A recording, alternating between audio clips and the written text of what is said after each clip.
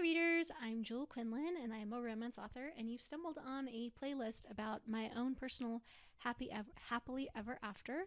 And um, in this episode, uh, I just wanted to share the experience I had of the ups and downs of being single until 50. That's a long time if you think about it. Um, I'm engaged, as many of you know from my other videos, and I'll be getting married at the end of August this year in 2024. And um, I was just reflecting on what a long journey it's been. In most people's lives, right, they get married at a much younger age and they share a lot of these life stages. They share, you know, everyone's going to each other's weddings at a certain stage in life and then they're having kids and then they're talking about parenting and you know buying homes and all these things.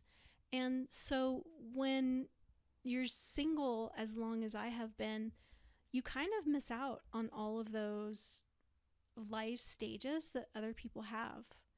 And it just seems like a very long time that you're dating especially if um, you're like me and you sort of decide um, or are able to decide pretty early on in your dating journeys that certain relationships aren't right for you.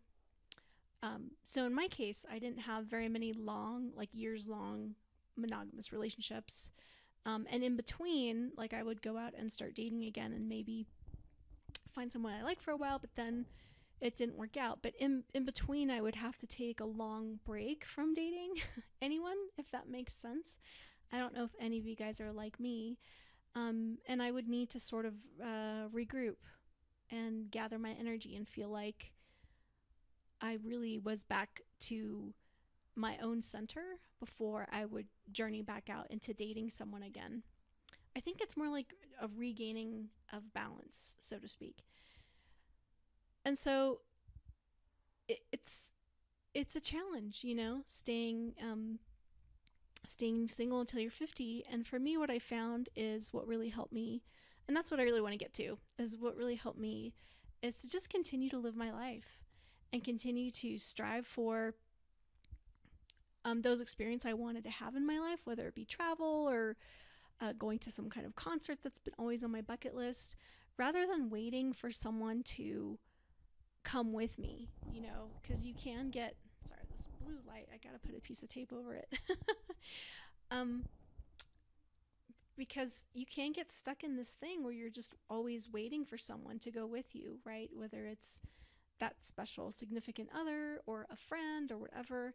So I've actually ended up doing a lot of things solo in my life. I've taken multiple trips overseas to Europe um, to go places I wanted to go, like whether it be a snowboarding vacation or some kind of, you know, um, I love I love EDM, so I like to go to those big concerts like Electric Daisy Carnival or um, things like that. So I've done those things in my life, and not saying that it's easy. I think it was easier for me because I was a field sales rep for many many years, and I got kind of used to stopping somewhere to have lunch or you know, you're on the road doing some overnights and you have to go spend a couple nights in a hotel. But then, you know, if you're in a hotel, then you have to go out and eat dinner and you're by yourself.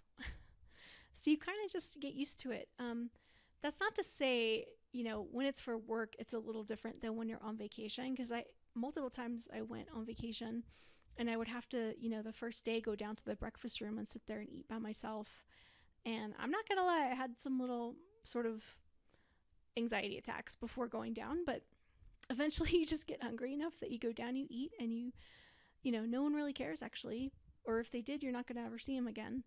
Most times, I'll be honest with you, what would happen in most of my vacations is I would meet really, really cool people, both men and women, that were also traveling, and we would end up hanging out. So I tended not to ever be alone, um, whether it was people at the hotel or someone um, I've met um, other people snowboarding that you know when when you're out um, on the slopes your friends might not be the same level but then you'll find someone else who is that's sort of on their own.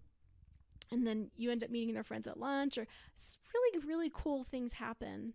Um, when you when you get out there and you go out and you you do the things you love and you get that fulfillment of living your life and it's not on hold and there's not like this you know huge burden or expectation that when you do find that special someone that all of a sudden you got to start you know knocking all these wish list things out because you've taken care of that and you'll have um, new more exciting wish list things to come. And your partner's going to bring their wish list items as well. And that's kind of how how it is for us. Like i've knocked out some really amazing things. I don't feel like i've missed out. And um, i mean fortunately i didn't um, ever want children because that would have been a very difficult thing to adjust to as well but um, for me it's been really cool because my fiance you know we're we have this whole new plan or wish list of things that we want to do together now and you know, we both bring to the table some really cool experiences already. So that that I just wanted to to bring that up because you can, you know, survive living your life essentially um, without have, ever having been married. And I'm just really glad I finally met my partner because that's what I always did want. Something big on my list that I always did want. You know, at one point I did have to sort of come to terms and and accept that possibly I may never meet someone or get married. And that's a whole other discussion. But in the meantime, I mean, my, my key thing that I would say is, you know, go out and have fun. Go and enjoy your life. Okay, fine. So you're going to miss out on some of these life stages that other people have, but there's lots of other really, really cool things out there to experience as well. in addition to, or in place of, or whatever you want to say. Um, so I would just encourage you and just be brave and and live your life.